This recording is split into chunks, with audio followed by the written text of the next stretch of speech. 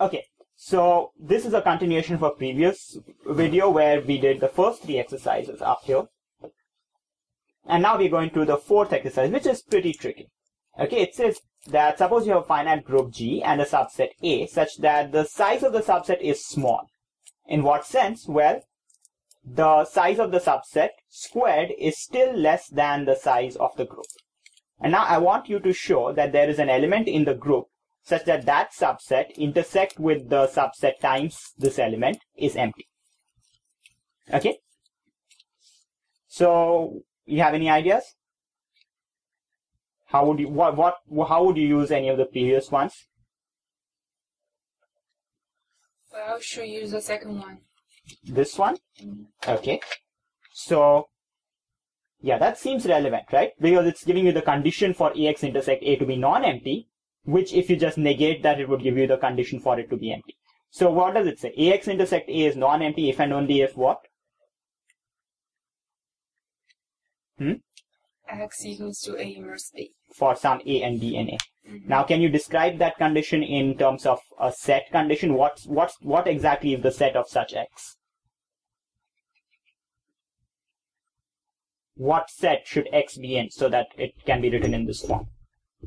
A inverse A. capital A inverse, A, right? So this is the same as saying that X is in here Mhm. A inverse A. Think of what's A inverse A. What's that? It's the set of products of some, of something in A inverted times something in A. Right? So and that's exactly the set of products of this form. So AX intersect A is non-empty if and only if X is in A inverse A. Okay? Hmm? Yeah. So AX intersect A is empty if and only if what? Hmm? X is now in A inverse A. Just write that down. Again, just. So AX intersect A is empty if and only if what? X is not in. A inverse A. Okay. So what do we need to show in order to show there exists X in G such that something holds, such that AX intersect A is empty? What we need to show? We need to show there exists an X in G such that X is not in A inverse A. Okay. Mhm. So, what is that equivalent to showing? The size of A inverse A is Yeah. smaller than the size of G. Yeah, you actually went one step further. So, so this is, this thing is therefore equivalent to showing, that this is equivalent to showing that A inverse A is a proper subset of G. So it's, it's a subset of G already, but we want to show it's not all of G. Okay? Right? Yeah. Which now, since it's a finite set, since we are talking of finite sets, this is equivalent to showing that what? The size of A inverse A is strictly less than the size of G. Because they're finite sets, you can just compare the sizes. Okay, good. Now, how would you actually show this? What, what result do you use now, which tells you what the size of this can be?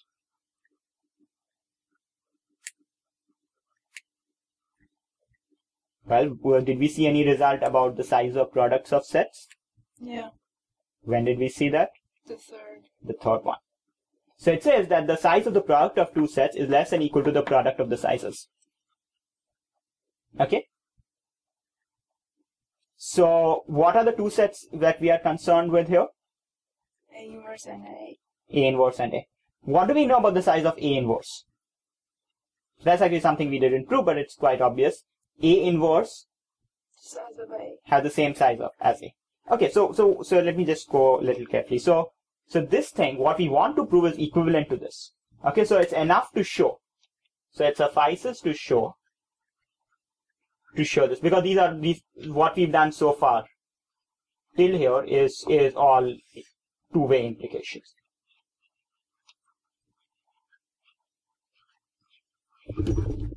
Okay. So how do you prove this? Well, so by this fact this is less than equal to what? The size of A inverse is less than equal to what? The size of A inverse times the size of A. Which is equal to, well, the size of A inverse, as you said, is the same as the size of A. A square. And what, what else do we know? What are we given? G is greater than the of A square. Okay, and that completes the proof, right? Because you have less than equal to, you have equal to and less than. So when you combine, you just get that the size of A inverse A is less than the size of G. So we are done.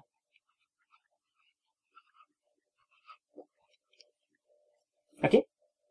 Mhm.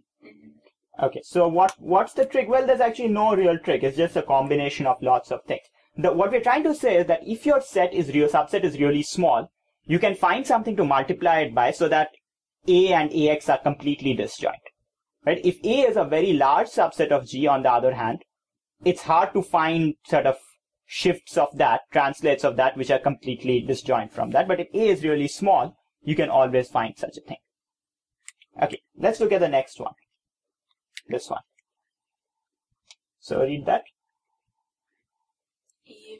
G, the size of G is less than the sum of the size of A and B, Mhm. then G equals to A times B. Okay, so this is sort of an opposite result to this. The previous one was saying if your subsets are really small, right? Or rather this, the third one and the fourth one, similar things. The third one is saying if A and B are like too small, if the sub- product of their sizes is less than the size of G, they can, the product cannot be G, right? What it's saying. The size of AB cannot be uh, more than the product of the sizes, which means if A and B are really small, their product cannot be G. Now this is saying if A and B are quite big, so the sum of their sizes is already bigger than the size of G. Okay. Then G is actually the product. So, so there's some sort of gap between these. But this is saying the product is small, then that, then the product of the size is small, then the product is small. And this is saying the sum of the size is large, then the product is large. There's some gap between them because if the sum is small and the product is large, it's kind of ambiguous. Okay, but let's look at this. So how would you show this?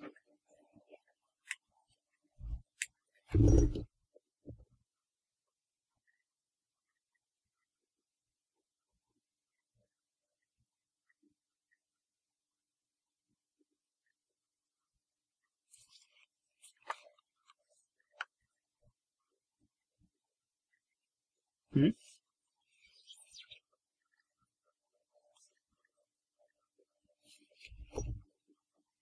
So it's it's kind of similar to this, but now you have two sets, A and B. So can you can you make first tell me a version of Okay, let me just do a few steps and then we'll see what's happening. I'll do it with the right multiplication instead of left, so just for variety. Okay, so oh sorry, left multiplication. I'll switch the way it's going. Okay, but you can do the same with that Right. Okay, so the proof for this one.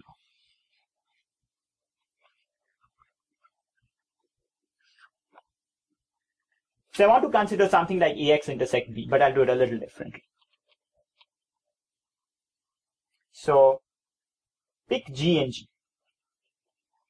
What do you want to show? G is A, B. So we want to show there exists A in A, B in B, such that G equals AB. Okay? Now here's how we do it. So first we consider the set GB inverse. Okay, actually, if you want to do exactly the same as a sort of analog, you do B inverse G, but I'm just doing it the other side just to show you you can work it either way. Okay, what's this set defined as? Hmm? G, B for R, B GB inverse. for R, B inverse in B inverse. Yeah, or you could just directly say B and B, right? Okay. Now, first of all, the, do you, what, what is the size of this set?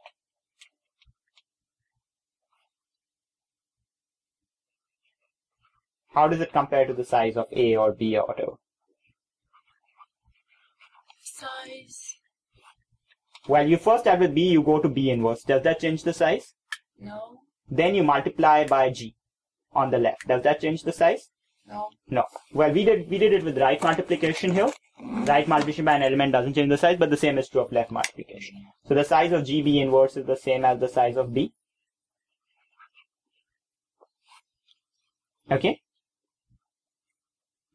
Yeah. Okay. So now, what can you say about A intersect GB inverse?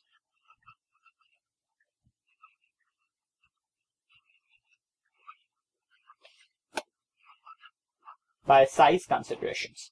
Well, this goes back a bit to to thinking of inclusion exclusion. Have you heard of inclusion exclusion? hmm or or just the I guess you could call it the yeah exclusion for set. So you have this group G. You have a group G. You have a set A, and you have a set GB inverse.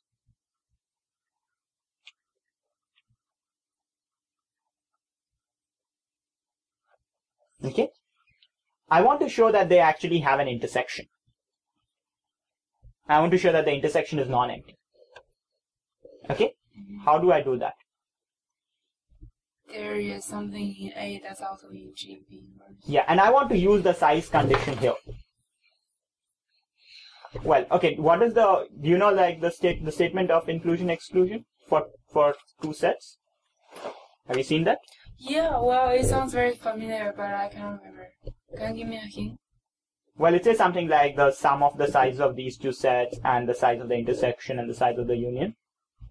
Have you seen that?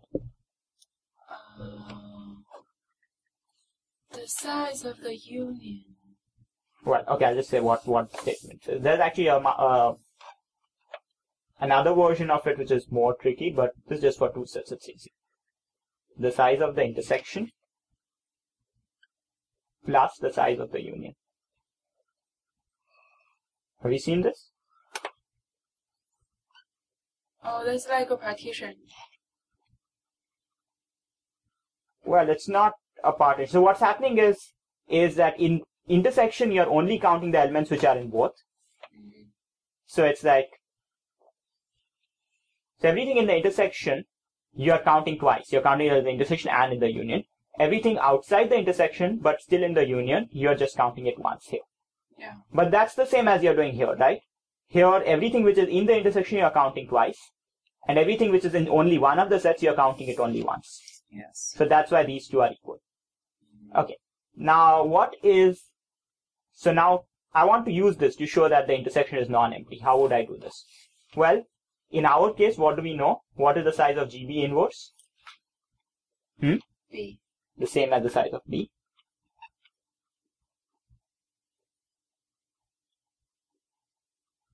Okay. And uh, the size of A intersect GB inverse is what we want to know. What can we say about the size of A union GB inverse? What's the most it can be? A times B. Well, that's one bound. But there's another bound you can do just because it's a subset of G.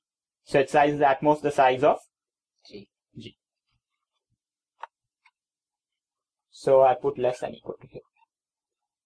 So now if I move uh, the stuff there, I'll get A intersect GB inverse is greater than equal to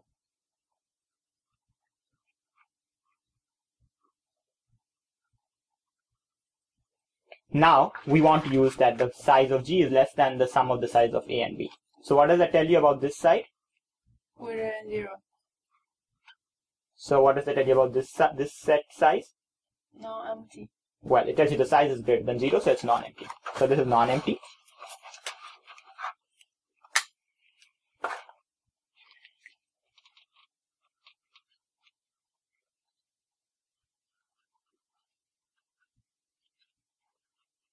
So what? So there exists A in A and B in B such that what? Such that what? Such that It's in the, so A is equal to, AB. no, no, G, the, so the intersection is non-empty means there's an A in A, Mhm. which is in GB inverse, which means there's an A in A and a B in B such that A is GB inverse. Right? We're saying there's an element which is in both sets. So that means it's of the form A where A is in A, but it's also the form GB inverse where B is in B. Okay. Now, how can we rewrite this? AB equals to Okay, so multiply by G inverse both sides. Sorry, multiply by, sorry, B both sides.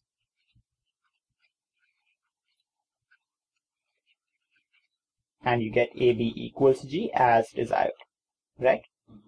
With A in A and B in B. So these proofs seem very formalistic, but there's, there's something going on here. So what you're saying is that A and B are so large that when you add up the sizes, you're more than the size of G. Okay? So you start with your element little g in G, which you want to show is in the product. Okay? You sort of say, what are the elements which, which are within a B distance of little g?